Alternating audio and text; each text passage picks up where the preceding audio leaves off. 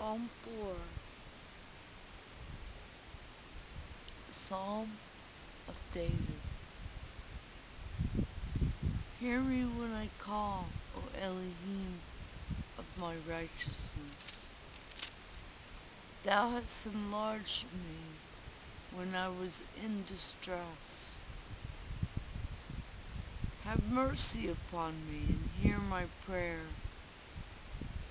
O ye sons of men, how long will ye turn my glory into shame? How long will ye love vanity and seek after leasing? Selah. But know that Yahweh hath set apart him that is godly for himself.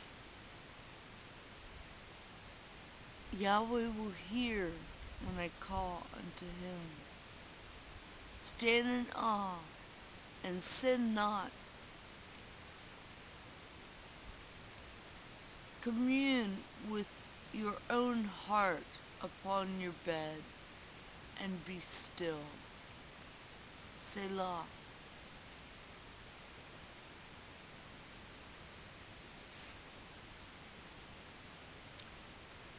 Offer the sacrifices of righteousness and put your trust in Elohim.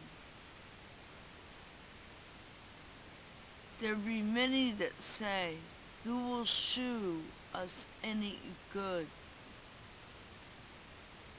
Yahweh, lift thou up the light of thy countenance upon us. Thou hast put gladness in my heart. More than in the time that their corn and their wine increased. Oh, both lay me down in peace and sleep. For thou, Yah, only makest me dwell in safety.